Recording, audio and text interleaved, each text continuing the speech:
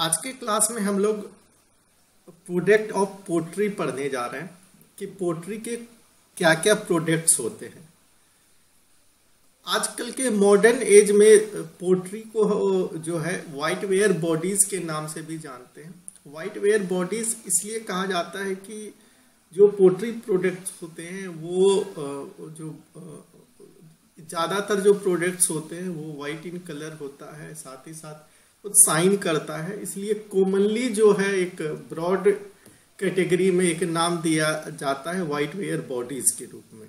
आप लोग कई बार कई सारे बुक्स में देखेंगे भी कि सारे जो कंसोलिडेटेड प्रोडक्ट होते हैं पोट्री के, उसको वाइट वेयर बॉडीज के नाम से जानते हैं। तो वाइट वेयर बॉडीज के अंदर कौन कौन से कैटेगरीज होते हैं किस किस फॉर्म में हम लोग इसके प्रोडक्ट्स को यूज़ करते हैं। इसके अनुसार वाइट वेयर बॉडीज को कैटेगराइज किया गया है। जैसे कि ऐसे बॉडी जिसका यूज़ हम लोग होम पर्पज से करते हैं, उसको वाइट वेयर एट होम कहते हैं। ऐसे प्रोडक्ट जिसका यूज़ हम लोग कंस्ट्रक्शन में करते हैं, इसको क्लासीफाई हम लोग करते हैं। ऐसे प्रोडक्ट जिसका यूज़ हम लोग इलेक्ट्रिकल अप्लायंसेस बनाने के लिए करते हैं। और ऐसे प्रोडक्ट जो है जिसका यूज़ इंडस्ट्रियल पर्पज से किया जाता है, इस तरीके से हम लोग जितने भी वाइट वेयर बॉडीज होते हैं, उसको कैटेगराइज करते हैं। इसके बाद हम लोग हर एक बॉडीज का बैच और बैच कैलकुलेशन पढ़ते हैं। तो आज हम लोग वाइट वेयर बॉडीज को डिटेल से देखने जा रहे हैं कि इसका क्लासिफिकेशन को और उस क्लासिफिकेशन के अंदर कौन कौन से प्रोडक्ट आते हैं। पहला जो क्लासिफिकेशन है वाइट वेयर एट होम है। वाइट वेयर एट होम का मतलब होता है हम ऐसी बॉडी जिसका यूज़ हम लोग अपने घरों में करते हैं। तो इसके अंदर आता है टेबल वेयर टेबल वेयर ऐसा बॉडी होता है जिसको कि हम लोग टेबल सर्विसेज़ के लिए करते हैं। जैसे कि हम लोग डाइनिंग टेबल पर जिस बॉडी का, जिस प्रोडक्ट का यूज़ करते हैं, वो टेबल वेयर कहलाता है। जैसे क्रॉकरी वेयर है और डिनर वेयर है। सबका यूज़ हम लोग टेबल सर्विसेज़ के लिए या डाइनिंग टेबल पर करते हैं। अगला जो होम में पोट्री के प्रोडक्ट का यूज़ करते हैं, वो है आर्टवेयर आर्टवेयर के रूप में हम लोग स्टैचू का यूज़ करते हैं। फ्लावर वेसेस का यूज़ करते हैं। कुछ फैंसी लैंप का देखे होंगे फैंसी लैंप के बेस प्लेट जो हैं, वो पोट्री के बने होते हैं। कुछ आइटम्स को स्टोर करने के लिए हम लोग कंटेनर्स का यूज़ करते हैं। किचन वेयर में वैसे प्रोडक्ट्स आते हैं जिसका यूज़ हम लोग किचन में करते हैं। जैसे कि सॉल्ट एंड पेपर सेकर्स का यूज़ करते हैं। छोटे से कंटेनर में सॉल्ट और पेपर को रख करके इसको खाने के चीज़ों पे स्प्रेड आउट करने के लिए करते हैं। स्पाइस कंटेनर के रूप में करते हैं, क्योंकि जो वाइट वेयर प्रोडक्ट्स होते हैं, वो केमिकल रजिस्टेंट होता है, वो आसानी से किसी एसिड बेस से रिएक्ट नहीं करता है तो इसलिए हम लोग स्पाइस कंटेनर के रूप में करते हैं। मिक्सिंग बॉल के रूप में करते हैं, इसका जो मैकेनिकल स्ट्रेंथ या नॉन रिएक्टिविटी के कारण इसका यूज़ हम लोग मिक्सिंग बॉल के रूप में करते हैं। बेकिंग डिशेस के रूप में करते हैं और भी कई सारे जगह पे हम लोग किचन के अंदर इसके प्रोडक्ट का यूज़ करते हैं। ओवन वेयर के रूप में इसका यूज़ करते हैं। ओवन में हम लोगों को एक स्पेशल हम लोग स्टील का या आयरन के बने हुए कंटेनर का यूज़ हम लोग ओवन के अंदर नहीं कर सकते हैं। तो ओवन में जो प्रोडक्ट का यूज़ हम लोग करते हैं पोर्सिलिन के बने हुए ओवन वेयर कहलाते हैं। कई सारे ऐसे प्रोडक्ट होते हैं जिसको कि हम लोग डायरेक्ट फ्लेम के कांटेक्ट में यूज़ करते हैं कि कोई भी चीज़ को गर्म करना होता है तो हम लोग को फ्लेम के कांटेक्ट में करके गर्म कर सकते हैं। तो ये फ्लेम रेजिस्टेंट वेयर होता है। इन सब, ये सब जो चीज़ें हैं, ये हम लोग घरों में करते हैं।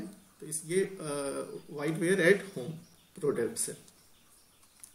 दूसरा जो प्रोडक्ट है, वो है वैसे प्रोडक्ट जिसका यूज़ हम लोग कंस्ट्रक्शन पर्पज से करते हैं, जैसे सैनिटरी वेयर है। सैनिटरी वेयर के अंदर ऐसे प्रोडक्ट आते हैं जो जैसे कि जो हम लोग इन जनरली बाथरूम्स के अंदर यूज़ करते हैं, जैसे वॉश बेसिन है, सिंक है, फ्लश टैंक है यूरिनल बेसिन है या सीट्स है। तो ये सब जो प्रोडक्ट होते हैं ये कंस्ट्रक्शन के रूप में यूज़ करते हैं। दूसरा जो प्रोडक्ट है कंस्ट्रक्शन के रूप में यूज़ होने वाला वो है टाइल्स। टाइल्स में भी हम लोग वॉल टाइल्स यूज़ करते हैं फ्लोर टाइल्स यूज़ करते हैं। दोनों टाइल्स का अलग अलग प्रॉपर्टीज़ होता है। आप लोग देखेंगे फ्लोर टाइल्स जो होता है वो उसका वेट काफ़ी ज़्यादा होता है। लेकिन वॉल टाइल्स जो होता है वो लाइट वेट होता है क्योंकि वॉल टाइल्स जो होता है वो सेल्फ सपोर्टेड होता है कोई बॉटम से उसको सपोर्ट नहीं रहता इसलिए उसका जो वेट हो, होना चाहिए, वो लाइट वेट का होता है। इसलिए इसको बनाने का जो कंपोजिशन होता है, साथ ही साथ प्रोसेस होता है, वो भी अलग अलग होता है। दूसरा जो टाइल्स होता है, वो पार्किंग टाइल्स के रूप में हम लोग यूज़ करते हैं, जहाँ पे गाड़ी को पार करते हैं, उसका मैकेनिकल स्ट्रेंथ बहुत ज़्यादा होना चाहिए तो वहाँ पे अलग टाइल्स का यूज़ किया जाता है। हम लोग नॉर्मल जो बेडरूम्स में यूज़ करते हैं या लिविंग रूम में यूज़ करते हैं, उस टाइल्स का यूज़ हम लोग पार्किंग टाइल्स के रूप में नहीं करते। इसके अलावे और भी कई तरीके का टाइल्स का कैटेगराइज किया जाता है, जैसे किचन में यूज़ करने वाला टाइल्स या बाथरूम में यूज़ करने वाला टाइल्स मोजाइक टाइल्स और भी सिरामिक टाइल्स और भी कई तरह के टाइल्स होते हैं, जिसका यूज़ हम लोग कंस्ट्रक्शन पर्पज से करते हैं। अगला जो क्लासिफिकेशन है इलेक्ट्रिकल अप्लायंसेस के रूप में वाइट वेयर बॉडी का यूज़ तो ये जो है इलेक्ट्रिकल पोर्सलिन इलेक्ट्रिकल पोर्सलिन का काम क्या होता है कि जब हम लोग इलेक्ट्रिकल एनर्जी को एक जगह से दूसरे जगह ले जाते हैं ट्रांसमिट करते हैं, उस ट्रांसमिशन में हमें एक इलेक्ट्रिकल या या इलेक्ट्रिकल रेजिस्टेंट मटेरियल की ज़रूरत पड़ती है, या इलेक्ट्रिकल इंसुलेटर मटेरियल की ज़रूरत पड़ती है। उस केस में हम लोग इलेक्ट्रिकल पोर्सिलिन का यूज़ करते हैं। इसको जनरली दो तरीके का कैटेगराइज किया गया है। लो टेंशन इंसुलेटर इस इंसुलेटर का यूज़ हम लोग 440 वोल्ट तक कर सकते हैं। आप, हम जानते हैं कि अलग अलग वोल्टेज होते हैं, जो हमारे घर में आते हैं 220 वोल्ट वन 110 वोल्ट तो इस तरीके से इसका यूज़ हम लोग 440 वोल्ट तक कर सकते हैं। 440 वोल्ट से ऊपर के ट्रांसमिशन के लिए हम लोग हाई टेंशन इंसुलेटर का यूज़ करते हैं। दूसरा जो है स्पार्क प्लग हम लोग वाइट वेयर प्रोडक्ट के रूप में यूज़ करते हैं जो कि हमारे बाइक्स में स्कूटी में या और भी कई सारे इंजन में लगे होते हैं।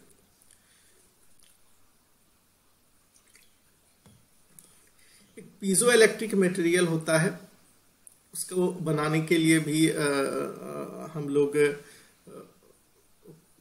पोट्री के मटेरियल्स का यूज़ करते हैं। तो इसमें एक क्या खास बात होती है स्ट्रेस हम लोग अप्लाई करते हैं तो इसमें इलेक्ट्रिकल एनर्जी जनरेट होता है। आप लोग वेइंग मशीन देखे होंगे, आजकल डिजिटल वेइंग मशीन आ गया है। तो उसमें बेसिकली क्या होता है, आप जब उसके ऊपर चढ़ते हैं तो आपके द्वारा एक स्ट्रेस अप्लाई होता है और वो स्ट्रेस अप्लाई होने के कारण उसमें इलेक्ट्रिकल एनर्जी जनरेट होता है और उस इलेक्ट्रिकल एनर्जी को हम लोग मेजर करते हैं एक सेंसर की मदद से और ये डिटेक्ट करते हैं कि कितना इलेक्ट्रिकल एनर्जी जनरेट हुआ। यदि हम लोग कम स्ट्रेस अप्लाई करते हैं तो यदि, या हम यूँ कहें कि हम लोग यदि उस पर कम वेट अप्लाई करते हैं तो कम इलेक्ट्रिकल एनर्जी जनरेट होगा और जिससे कि वो डिटेक्ट करेगा हमारा सेंसर जो लगाया हुआ है कि कम इलेक्ट्रिकल एनर्जी जनरेट हो रहा है। मतलब वेट कम है। यदि हम लोग ज़्यादा वेट उस पर अप्लाई कर रहे हैं तो ज़्यादा स्ट्रेस अप्लाई हो रहा है तो इलेक्ट्रिकल एनर्जी जो जनरेट हो रहा है, उसके द्वारा वो भी ज़्यादा हो रहा है। इस तरीके से डिटेक्ट किया जाता है। इसको भी हम लोग क्वार्ज जैसे मटेरियल से बनाते हैं। अगला जो इलेक्ट्रिकल अप्लाइंसेंस अप्लाइंसेस है, वो सबस्ट्रेट है। सबस्ट्रेट क्या होता है कि, आप लोग देखे होंगे कि हमारे यहाँ जो टीवी फ्रिज या और कंप्यूटर अप्लाइंसेस होते हैं या मोबाइल फोन्स होते हैं, इसके जो मदरबोर्ड्स होते हैं या इसमें एक सर्किट जहाँ लगा होता है, उस सर्किट को लगाने के लिए एक बोर्ड की ज़रूरत पड़ती है। उसी के ऊपर बहुत सारे आईसी या कैपेसिटर या रेजिस्टेंस सोल्ड किया हुआ रहता है। तो वो जिस जिस बेस प्लेट के ऊपर सोल्ड किया हुआ रहता है, जिस बेस प्लेट के ऊपर लगाया जाता है, इसको हम लोग सबस्ट्रेट कहते हैं। इस सबस्ट्रेट को बनाने के लिए भी हम लोग सिरामिक मटेरियल्स का यूज़ करते हैं। अगला जो होता है फेरो मैग्नेटिक मटेरियल होता है। फेरो मैग्नेटिक मटेरियल का एडवांटेज क्या होता है? इसमें जो एनर्जी लॉस होता है, वो कम होता है।